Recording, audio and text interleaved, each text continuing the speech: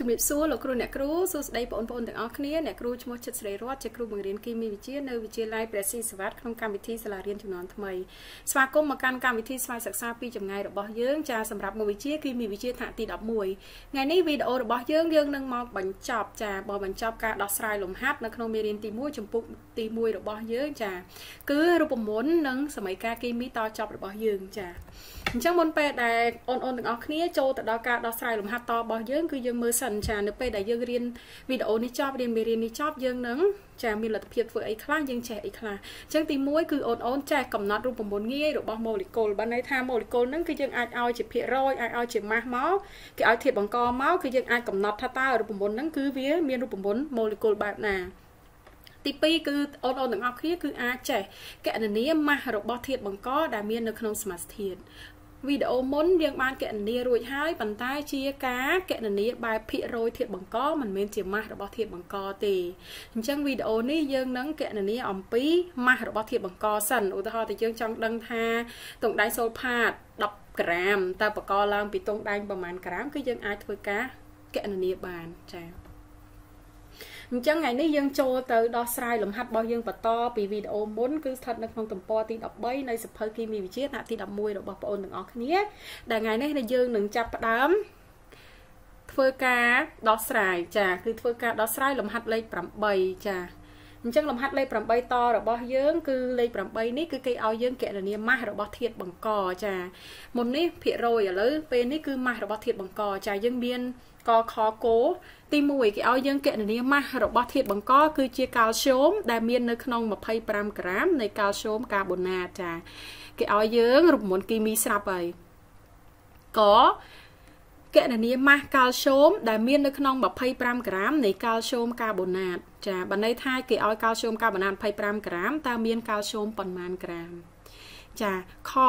កណនាម៉ាស់ក្លដែលមានក្នុង27ក្រាមនៃទង់ដែង2ក្លរੂខកណនាម៉ាស់ក្លដែលមាននៅក្នុង27ក្រាមនៃទង់ដែង2ក្លរੂគោកណនាម៉ាស់របស់សូដ្យូមដែលមាននៅក្នុង50ក្រាមនៃសូដ្យូមផូស្វាត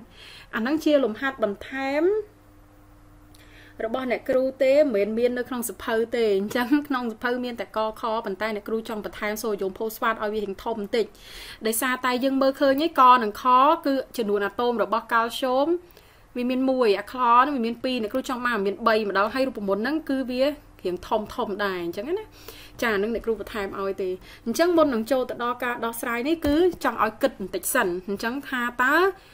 យើងប្រើប្រាស់រូបមន្តស្តៀងគ្នាជាមួយនឹងរូបមន្តមួយណានៅក្នុងការដែលយើងដោះស្រាយវីដេអូមុនមុនអញ្ចឹងណាចាអញ្ចឹងយើងទៅមើលមុននឹងយើងចូលទៅដល់ការដោះស្រាយលំហាត់របស់យើងណាយើងនឹងត្រូវតែបង្ហាញរូបមន្តសិនត្រូវទេអញ្ចឹងអ្នកគ្រូបង្ហាញរូបមន្តម៉ាស់ធាតុបង្កសិនអញ្ចឹងរូបមន្តនៃការកណនាម៉ាស់ធាតុបង្កគឺយើងប្រើរូបមន្តស្តៀងទៅនឹងភាគរយធាតុបង្កតែអូនទាំងអស់គ្នាមានកន្លែងចំណាំទេថាវាខុសគ្នាត្រង់កន្លែងណាចាវាខុសគ្នាត្រង់កន្លែងណាជាមួយនឹងភាគរយរបស់ធាតុបង្ក វាខុសគ្នាត្រង់កន្លែងខាងចុងនេះបើសិនជាគេកណនាភាគរយខាងចុងនេះត្រូវតែគុណនឹង100មិនថាកំហាប់ភាគរយឬក៏អីទេកំហាប់ភាគរយក៏ខាងចុងគុណនឹង100ដែរទិន្នផលជាភាគរយក៏ត្រូវគុណនឹង100ដែរភាគរយធាតុបង្កក៏ត្រូវគុណនឹង100ដែរតែនេះម៉ាស់ធាតុបង្កជាទូទៅត្រូវតែគុណជាមួយនឹងម៉ាស់មិនគុណជាមួយនឹងភាគរយទេអញ្ចឹងម៉ាស់ធាតុបង្ករបស់យើងគឺយើងស្មើឲ្យ n ចា n ហ្នឹងគឺជាចំនួនអាតូមរបស់ធាតុបង្កនៅក្នុងរូបមន្តដូចតែ ភាគរយធាតុបង្កដែរអញ្ចឹងយើងស្មើ n គុណនឹងម៉ាស់អាតូមរបស់ធាតុបង្កមួយនោះគុណនឹងម៉ាស់របស់ភាគសំណាក់ឬក៏ម៉ាស់របស់សមាធាតុដែលគេឲ្យក្នុងចំណោមហ្នឹងថាតើសមាធាតុមួយហ្នឹងគេយកប្រមាណក្រាមមកឲ្យយើងកណនាអាហ្នឹងហើយគឺជាម៉ាស់របស់ភាគសំណាក់យើងចែកឲ្យនឹងម៉ាស់ម៉ូលេគុលរបស់សមាធាតុថាតើសមាធាតុមួយហ្នឹងឈ្មោះអីឧទាហរណ៍តុងដៃសូលផាត n របស់វាគឺស្មើ1 n របស់ s គឺស្មើ1 n របស់ o គឺស្មើ4មានន័យថាចំនួនអាតូមចំនួនអាតូមរបស់តុងដែងគឺមាន1នៅក្នុងតុងដៃសូលផាតចំនួនអាតូមរបស់ស្ពាន់ធរក៏មាន1ដែរចំនួនអាតូមរបស់សែនក៏មាន4កន្លែងនេះអ្នកគ្រូចង់បង្ហាញបន្តិចទាំងអស់គ្នាអូនត្រូវស្គាល់សិនថាតើរូបមន្តមួយនេះបកឡើងពីប្រភេទអាតូមចំនួនប្រមាណបើយើងបែងចែកប្រភេទអាតូមអត់ទាន់ដាច់ទេយើងអត់ដឹងថា n ស្មើប៉ុន្មានទេ បើយើងបែងចែកចំនួនអាតូមឲ្យដាច់ចំនួនប្រភេទអាតូមឲ្យដាច់ថាអូរូបមន្តតុងដៃសូផានេះបកឡើងតែពី3ប្រភេទអាតូមទេអញ្ចឹងកាលណាបកឡើងពី3ប្រភេទអាតូមហ្នឹងគឺយើងអាចបែងចែកឲ្យថាតើគេរោភាគរយរបស់អ្នកណាយើងអាចរក n របស់អ្នកហ្នឹងឃើញទង់ដៃសូលផាតមានអក្សរមាន4ប៉ុន្តែប្រភេទអាតូមមានតែ3ដោយសារទង់ដៃមានអក្សរ2ប៉ុន្តែវាហៅទៅទង់ដៃអញ្ចឹងណារបៀបមើលគឺយើងមើលអក្សរធំអក្សរណាធំជាប់អក្សរតូចគេហៅតែមួយតួទេ អក្សរតូចអត់ដែលរាប់ថាមួយធាតុគីមីទេបើអក្សរតូចហ្នឹងគឺបើន័យថានៅខាងឆ្វេងអក្សរតូចគឺជាអក្សរធំមួយហ្នឹងគឺបើន័យថាអាតូចនិងអាធំដែលនៅជាប់គ្នាឆ្វេងមួយស្ដាំមួយហ្នឹងអាស្ដាំតូចអាធំអាឆ្វេងធំហ្នឹងគឺធាតុគីមីតែមួយប្រភេទទេដូចសេអុយយើងណាអុយនៅខាងស្ដាំសេនៅខាងឆ្វេងអញ្ចឹងណាអញ្ចឹងអាហ្នឹងទងដែងចំណែកអាធំធំទាំងអស់ហ្នឹងគឺយើងរាប់ប្រភេទអាតូមផ្សេងផ្សេងគ្នានេះដូច S ដូច O អញ្ចឹងគឺ S ស្ពនធរ O គឺអុកស៊ីហ្សែនអញ្ចឹងប្រភេទអាតូមវា3 អញ្ចឹងអ្នកគ្រូទៅដោះស្រាយលំហាត់ឲ្យសិនចាគណនាម៉ាស់កាល់ស្យូមនៅក្នុង25ក្រាមនៃកាល់ស្យូមកាបូណាតអញ្ចឹងរូបមន្តរបស់យើងគឺអ្នកគ្រូបានបកស្រាយឲ្យបំបញ្ញមិញហើយតែត្រង់តែកន្លែងនេះអ្នកគ្រូជួសជាជាឈ្មោះរបស់ធាតុបង្កតែយើងចង់ដោះស្រាយអញ្ចឹងឈ្មោះរបស់ធាតុបង្កយើងគឺកាល់ស្យូមអញ្ចឹងយើងតាំងដោយអក្សរ Ca មក M តូចនេះគឺម៉ាស់ អញ្ចឹងអឹមតូចរបស់ Ca គឺម៉ាស់របស់កាល់ស្យូមនៅក្នុងកាល់ស្យូមកាបូណាតណាចាវាស្មើឲ្យចំនួនអាតូមរបស់កាល់ស្យូមនៅក្នុងកាល់ស្យូមកាបូណាតចែកឲ្យម៉ាស់អាតូមរបស់កាល់ស្យូមគុណនឹងម៉ាស់ម៉ាស់របស់កាល់ស្យូមកាបូណាតដែលគិតជាក្រាមដែលគេឲ្យនៅក្នុងប្រធានលំហាត់ចែកឲ្យម៉ាស់ម៉ូលេគុលរបស់កាល់ស្យូមកាកាបូណាតអញ្ចឹងយើងមើល n ស្មើ1មូលហេតុកាល់ស្យូមកាបូណាតមានអាតូមកាល់ស្យូមតែមួយអាតូមទេណាចំណែកម៉ាស់អាតូមរបស់កាល់ស្យូមគឺ40ជាទូទៅអានឹងនៅក្នុងតារាងខួប ហើយម៉ាស់ម៉ូលេគុលនេះអ្នកគ្រូជឿថាទាំងអស់គ្នាភាកច្រើនណាភាកច្រើនគឺចេះកណនីហើយអញ្ចឹងអ្នកគ្រូអត់បានសម្រាយឲ្យទេអ្នកគ្រូចែកយកគុណបូកដកគុណចែកយកតែម្ដងហើយអញ្ចឹងបូកទៅវាបាន100ក្រាមក្នុងមួយ1ម៉ូលម៉ាស់អាតូមអាចចាស់សំទោសម៉ាស់ម៉ូលេគុលរបស់កាល់ស្យូមកាកាបូណាតចំណែកម៉ាស់ភាគសំណាក់25ដោយសារគេប្រាប់ថា25ក្រាម25ក្រាមតំណាងឲ្យម៉ាស់ម៉ាស់សមាសធាតុដែលគេយកជាក្រាមមកមកប្រើចាយើងមកប៉ុណ្្នឹងហើយយើងជួសលេខចូលទៅ អញ្ចឹងយើងជួសលេខចូលយើងបានម៉ាស់របស់កាល់ស្យូមគឺ n ស្មើ1ម៉ាស់អាតូមកាល់ស្យូម40ចែក100គុណ25អញ្ចឹងស្មើនឹង10ក្រាមអញ្ចឹងត្រង់កន្លែងនេះគេបានន័យថានៅក្នុងកាល់ស្យូមកាបូណាត25ក្រាម មានកាល់ស្យូម10ក្រាមនៅសល់15ក្រាមទៀតជារបស់កាបូននិងជារបស់អុកស៊ីអុកស៊ីសែនចា អញ្ចឹងការរោភាគរម៉ាស់របស់កាបូននិងម៉ាស់របស់អុកស៊ីសែនក៏យើងអាចដោះស្រាយតាមរបៀបម៉ាស់របស់កាល់ស្យូមនឹងដែរចាអញ្ចឹងលំហាត់របស់យើងគេឲ្យរោតែមួយអញ្ចឹងយើងរោតាមគេតែមួយទៅតែបើសិនជាអូនទាំងអស់គ្នាចង់រោដល់កាបូនចង់រោដល់អុកស៊ីសែនប្រើរូបមន្តដូចគ្នាហ្នឹងខនតាដូខនតាដូកាល់ស្យូមមកកាបូនអីទៅប៉ុណ្្នឹងទៅចា ចាអញ្ចឹងយើងចូលទៅខរបស់យើងម្ដងអញ្ចឹងខរបស់យើងគឺកណនីម៉ាស់ក្លដែលមាននៅក្នុង27ក្រាមនៃទងដែង2ក្លរੂចា អញ្ចឹងគេឲ្យយើងកណនីម៉ាស់របស់ក្លចាដែលបង្កនៅក្នុងទងដែង2ក្លរੂចំនួន27ក្រាមចំណែករូបមន្តក្នុងការគណនារបស់យើងគឺវាអត់ខុសពីកទេគឺដូចគ្នាហ្នឹងគឺម៉ាស់របស់ក្លគឺយើងតាំងដោយ m ក្លអញ្ចឹងទៅចាយើងស្មើចំនួនអាតូមកន្លែងនេះអាចបើវងកញ្ចក់ Cl ក៏បានដែរគឺចំនួនអាតូមរបស់ក្លនៅក្នុងទងដែង2ក្លរួគុណឲ្យម៉ាស់អាតូមរបស់ក្លយើងគុណឲ្យម៉ាស់ភាគសំណាក់របស់យើងគឺម៉ាស់ទងដែង2ក្លរួចែ កឲ្យម៉ាស់ម៉ូលេគុលរបស់ទងដែង2ក្លរួដែរចាយើងមើល n របស់យើងហេតុអីបានស្មើ2ចាដោយសារតែក្នុងទងដែង2ក្លរួនេះគឺក្លរបស់យើងបង្កឡើងចំនួន2អាតូមចាអញ្ចឹង n របស់យើងគឺស្មើ2ហើយអញ្ចឹងចំណែកម៉ាស់អាតូមរបស់ក្លគឺ35.5ចាមានតែវាមួយដែលមានក្បៀសណាចំណែកឯម៉ាស់ម៉ូលេគុលរបស់ទងដែង2ក្លរួបូកចូលគ្នាទៅគឺឃើញ135ក្រាមហុំ1ម៉ូលចំណែកម៉ាស់របស់សមាសធាតុ តុងដៃ2ក្លរੂគឺ27ក្រាមអញ្ចឹងយើងបានប៉ុណ្ណឹងហើយយើងជួសលេខចូលមកគឺបានម៉ាស់របស់ក្លស្មើ2គុណ35.5គុណនឹង27ចែកឲ្យ135ឃើញ14.2ក្រាមចាអញ្ចឹងបានន័យថានៅក្នុងក្លចាសំទោសនៅក្នុងតុងដៃ2ក្លរ ੂ27 ក្រាមមាន ក្ល14.2ក្រាមក្រៅពីនោះគឺតុងដែងដោយសារតែវាបកឡើងពី2ប្រភេទអាតូមទេអញ្ចឹងក្នុងចំណោម2ប្រភេទអាតូមបើយើងរោមួយប្រភេទឃើញអាតុងដែងហ្នឹងអត់ច្បាច់ប្រើរូបមន្តរោទេយើងរោយើងយកម៉ាស់ដើមម៉ាស់សរុបដកម៉ាស់ក្លទេយើងឃើញម៉ាស់តុងដែងហើយគឺវិធីគឺរោដោយតែភាគរយដែរបើក្នុងករណីដែលវាមានតែពីរប្រភេទអាតូមយើងរោឃើញមួយមួយទៀតគឺរោបែបហ្នឹងណាមូលហេតុពេលដែលយើងរោតាមរូបមន្តវាអាចនឹង បូកចូលគ្នាទៅវាអត់ចេញ27ទេដោយសារលេខរបស់យើងបើអត់ចែកដាច់គឺវាវាស្ទើរអញ្ចឹងណាតែបើយើងយក27ដល់14.2ក្រាមគឺចេញលេខមកយកអាពីរនឹងបូកចូលគ្នាទៅវិញឃើញ27ហ្មងចាយើងមើលបន្ថែមរបស់អ្នកគ្រូមួយទៀតគឺ50ក្រាមនៃសាត់សូដ្យូមផូស្វាតចាគេឲ្យយើងគណនាម៉ាស់របស់សូដ្យូមចឹងរូបមន្តរបស់យើងដូចគ្នាដែរ ដែល m របស់សូដ្យូមស្មើនឹងចំនួនអាតូមសូដ្យូមគុណនឹងម៉ាស់អាតូមរបស់សូដ្យូមចែកឲ្យម៉ាស់ម៉ូលេគុលរបស់សូដ្យូមផូស្វាតគុណឲ្យម៉ាស់សូដ្យូមផូស្វាត m ធំនិង m តូចអត់ដូចគ្នាទេ m ធំម៉ាស់ម៉ូលេគុលចេញពីតារាងខួបចំណែកឯ m តូចគឺគេឲ្យនៅក្នុងប្រធានណាគិតជាក្រាម m តូចគឺគិតជាក្រាមអញ្ចឹង n របស់យើងស្មើ3ដោយសារតែសូដ្យូមបកកនៅក្នុងសូដ្យូមផូស្វាតមាន3អាតូមនេះសន្ទុះ3បើអត់មានសន្ទុះបាន1តែមានសន្ទុះមើលតាមសន្ទុះហ្នឹងទៅអញ្ចឹងសូដ្យូមនឹងមាន3ចំណែកម៉ាស់អាតូមសូដ្យូម23 ម៉ាស់ម៉ូលេគុលរបស់សូដ្យូមផូស្វាតគឺ164ក្រាមក្នុង1 1ម៉ូលចាហើយម៉ាស់ភាគសំណាក់គឺ50ក្រាមអញ្ចឹងយើងបានប៉ុណ្ណឹងហើយយើងជួសលេខចូលមកអញ្ចឹងយើងជួសលេខចូលយើងបាន3គុណនឹង23គុណនឹង50ចែក164ចាចម្លើយឃើញ21.04ក្រាមអញ្ចឹងបានន័យថានៅក្នុង50ក្រាមគ្រាន់តែសូដ្យូមបកកឡើងចិត្តពាក់កណ្ដាលបកឡើងពីម៉ាស់របស់សូដ្យូមគឺ21.04ក្រាមចំណែកផូស្វ័រអុកស៊ីសែនគឺយើងដោះស្រាយតាមរូបមន្តអញ្ចឹងទៅ ចាយើងចប់លំហាត់ទី8របស់យើងហើយយើងចូលលំហាត់ទី9របស់យើងដែលជាលំហាត់ដែលភាកច្រើនគឺភាកច្រើនគឺសិស្សភាកច្រើនពិបាកក្នុងការយល់ពិបាកក្នុងការដោះស្រាយគឺការកំណត់រូបមន្តងាយនឹងហើយការកំណត់រូបមន្តថាតើគេឲ្យភាគរយប៉ុណ្ណឹងមកតែយើងដោះស្រាយរូបមន្តវាបែបណាជាងគេគឺវាពិបាកមិនថាយើងទី11ហើយសូម្បីតែទី10ដែលគាត់រៀនរៀនខ្លាំងជាងគេអាទី10ហ្នឹងច្រើនតែយើងនៅតែពិបាកក្នុងការដោះស្រាយដែរ អញ្ចឹងលំហាត់នៅក្នុងលំហាត់ទី9នេះគឺមានកនិងខដែលគេឲ្យយើងចូលកំណត់រូបមន្តងាយរបស់ម៉ូលេគុលអ៊ីដ្រូកាបូខាងក្រោមដោយសមាសមាសភាពសត្វភាគនៃធាតុដែលផ្ដល់ឲ្យសមាសភាពសត្វភាគបានន័យថារូបមន្តមួយហ្នឹងគឺបកកឡើងពីកាបូន75បកកឡើងពីអ៊ីដ្រូ325ចាអាហ្នឹងកសួរថាតើភាគរយបានមកពីណាភាគរយអត់ពិបាកទេដោះស្រាយដោយលំហាត់លំហាត់វីដេអូមុនណោះ ដែលយើងចេះរោភាគរយរបស់ធាតុបកបើយើងស្គាល់រូបមន្តរូបមន្តមួយហ្នឹងរូបមន្តម៉ូលេគុលរបស់រូបមន្តហ្នឹងចាសមាធាតុហ្នឹងគឺយើងអាចរោភាគរយបានតែអានេះយើងអត់ស្គាល់រូបមន្តទេតែយើងស្គាល់តែភាគរយអញ្ចឹងយើងត្រឡប់ទៅវិញថាបើយើងស្គាល់តែភាគរយយើងធ្វើម៉េចរបៀបដោះស្រាយគេដោះស្រាយបែបម៉េចចា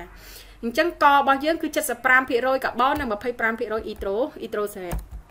ចាចំណែកខគឺ80%នៃកាបូននិង20%អ៊ីត្រូសែនអញ្ចឹងភាគរយពីរនេះខុសគ្នាអញ្ចឹងរូបមន្ត កវាអត់ដូចគ្នាដែរវាខុសគ្នាទៅតាមនឹងអញ្ចឹងគេឲ្យម៉ាស់អាតូមកាបូនស្មើ12អ៊ីត្រូសែនស្មើស្មើនឹង1ចា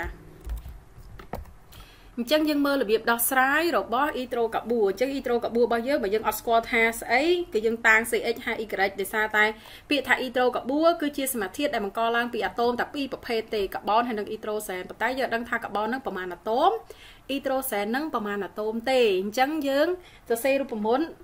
ទូទៅរបស់វាគឺ CH ហា Y ទៅដោយសារយើងដឹងថាអ៊ីត្រូកាបួនហ្នឹងគឺវាឆ្អែតមិនឆ្អែតឬក៏ប្រហើទេចាអញ្ចឹងរបៀបនៃការដោះស្រាយទី1បើក្នុងករណីដែលគេឲ្យជាភាគរយនៃធាតុបង្កឧទាហរណ៍ទៅធាតុបង្កអ៊ីត្រូកាបូមានតែកាបូនអ៊ីត្រូសែនទេគេឲ្យកាបូន75អ៊ីត្រូសែន25ចា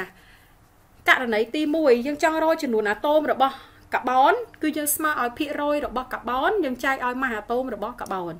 ឧទាហរណ៍ថាគេអត់ឲ្យភាគរយកាបូនគេឲ្យភាគរយសូដ្យូមអញ្ចឹងអាហ្នឹងវាស្មើឲ្យភាគរយសូដ្យូមចែកទាំងម៉ាស់អាតូមរបស់សូដ្យូមនិយាយរួមទៅគឺធាតុអីគឺយកភាគរយនៃធាតុហ្នឹងចែកជាមួយម៉ាស់អាតូមនៃធាតុហ្នឹងម៉ាស់អាតូមមិនម៉ាស់ម៉ូលេគុលទេណាម៉ាស់អាតូមជាបីធាតុហ្នឹងជាអ៊ីត្រូសែនក៏យើងយកម៉ាស់អាតូមក្នុងតារាងខួបមកប្រើដែរ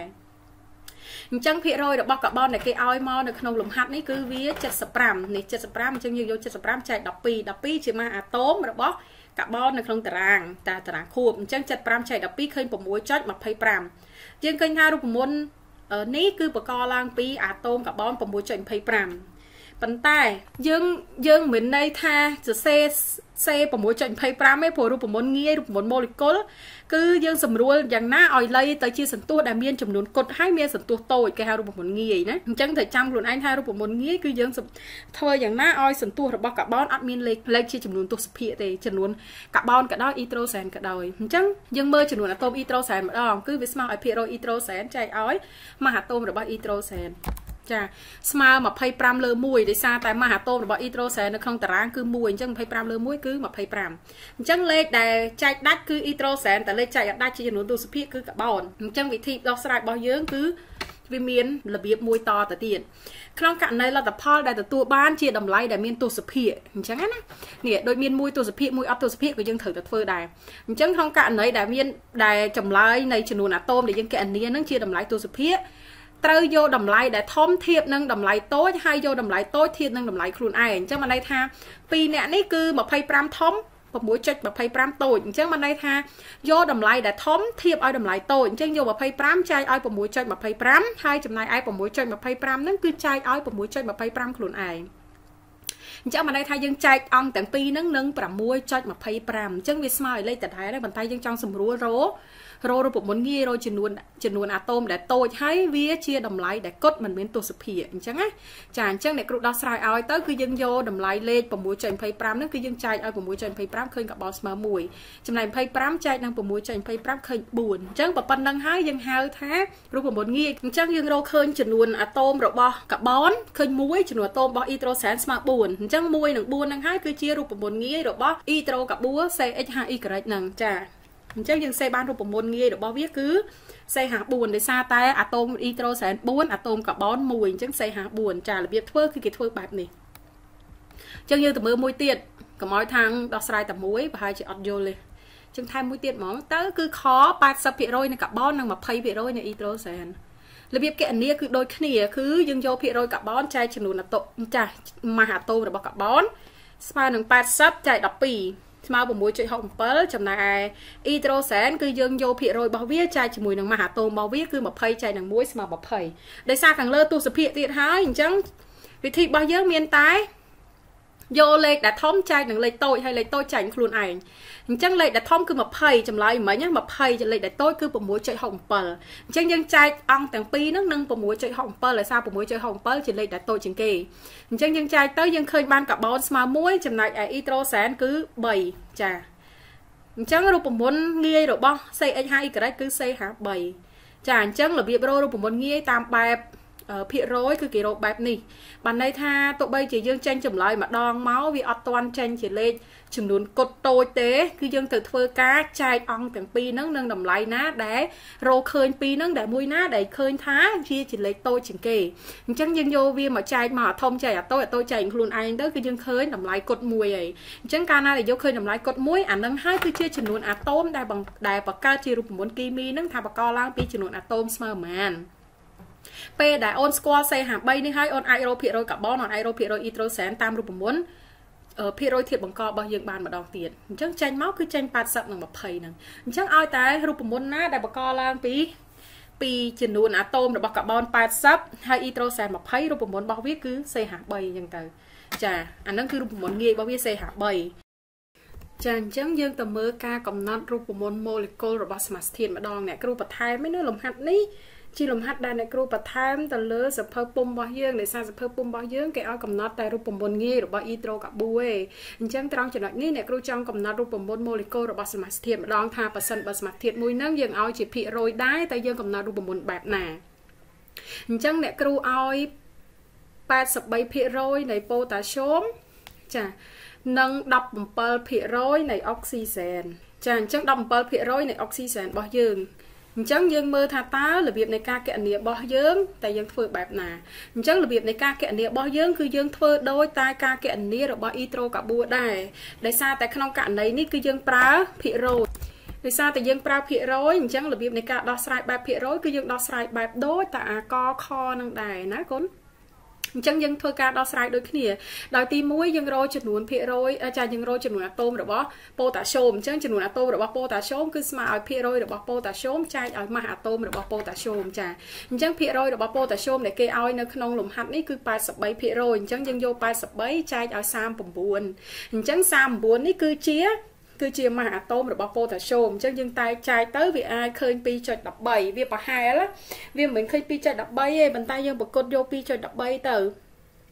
ចាបន្តមកទៀតយើងយកចំនួនអាតូមរបស់អូអញ្ចឹងយើងរកចំនួនអាតូមរបស់អុកស៊ីសែនគឺយើងស្មើឲ្យភាគរយរបស់អុកស៊ីសែនដែលគេប្រាប់នៅក្នុងបំរាប់ចែកឲ្យម៉ាសអាតូមរបស់អុកស៊ីសែនចាអញ្ចឹងស្មើ17ចែកឲ្យ16អញ្ចឹងចែកទៅឃើញ1.0625ចាបន្ទាប់ពីយើងបានលេខបែបនេះដោយសារតែលេខជាលេខទស្សភាគ